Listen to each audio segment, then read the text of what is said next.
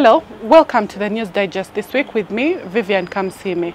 Recently, there has been panic among the local milk producers here as the Kenya Dairy Board moved to stop importation of milk powders into their markets. We sit down with the Public Relations Officer of Dairy Development Authority here to discuss this ban and to find out how is our local market doing and what memoranda of understanding do they have with Algeria to have market for our local powdered milk.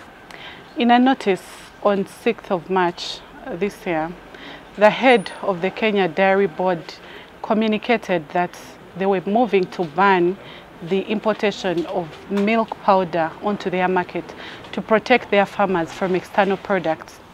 That ban has since been suspended according to communications from our Minister of East African Community Affairs here, the Right Honorable Rebecca Alitwala Kadaga. Is the quality of our milk the problem? In 2019, the issue of quality was what was raised as the reason for banning milk.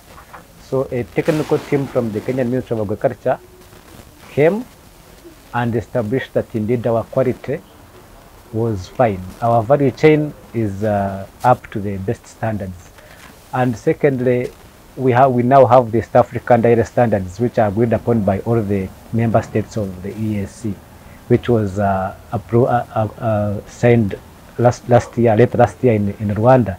So all our standards now regarding dairy sector are, are all the same. Whether it is milk is from uh, Tanzania, from uh, DRC, it must meet those specific standards as agreed upon by all member states. According to statistics, the domestic market here does not consume as much milk as they should be consuming.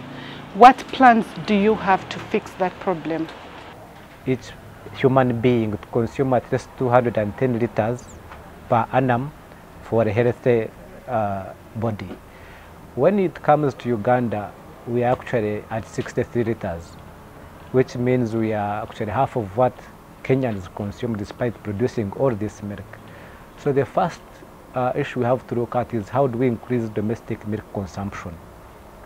Uh, we have been try doing uh, some pilot projects together with SNV, Netherlands, especially Western Uganda and now Central Uganda, whereby we have, we have been piloting this, the school milk feeding program.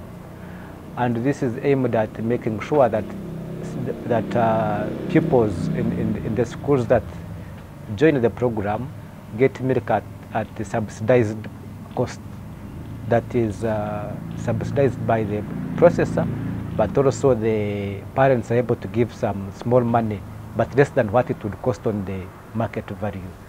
Uh, that is number one. So number two, apparently, yes, uh, one of the biggest issues has been the cost. And the cost of milk is relatively high simply because of the packaging. Uh, when you look at milk packaging, the cost is about 60%.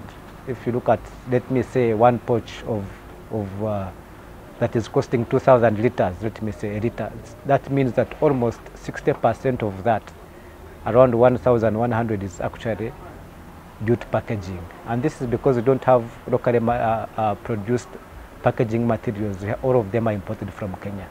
So if we had maybe locally produced packaging materials, we could see the, the price of milk substantially go low and become more affordable than it is at the moment. As we started the week, you announced that you had signed a memorandum of understanding with Algeria during the president's trip there.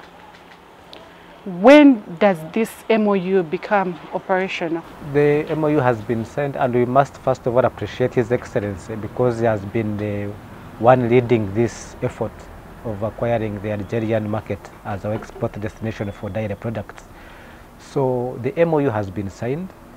What now remains are the intricacies, especially of pricing, then transportation, uh, things like that. But uh, we know that Algeria has uh, a milk market of about 2 billion liters, and most of it is imported, especially from from uh, UAE and uh, and uh, Europe.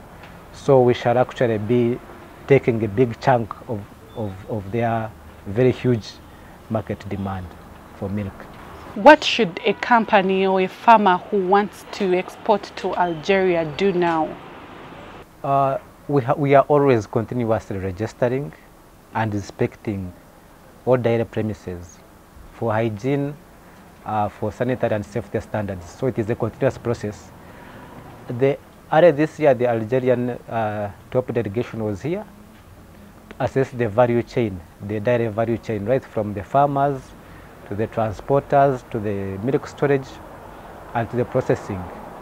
And their issue was, is our milk up to the standard that they would require? And they did.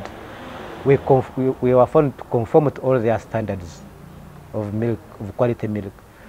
Now, what has been happening is that because of, of less demand for milk, some of these plants have been uh, operating at reduced capacity. So where you find that we have an installed capacity of about 3.6 million, we have only been using 2.3 million liters per day. So now that means that the installed uh, plants already, which have a higher capacity, will just increase more the, more the, the quantity of milk they bring in and increase their output because already the capacity is there to produce all the milk that is required. So I don't think there will be any new need for maybe new plants or new milk lines for powder.